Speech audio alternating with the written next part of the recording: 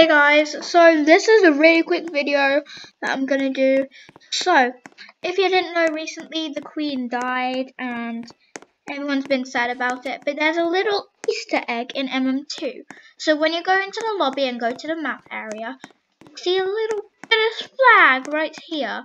So, so you know the secret room. If you go over here, you can see there's a soldier instead of that um green haired guy holding the um, English flag to show how, you know, the Queen, you know?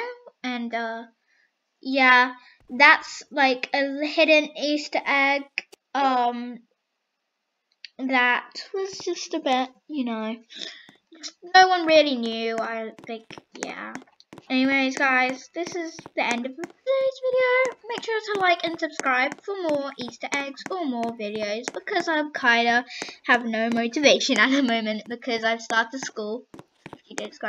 Anyways, bye guys! Oh my god, ow. Okay, bye guys!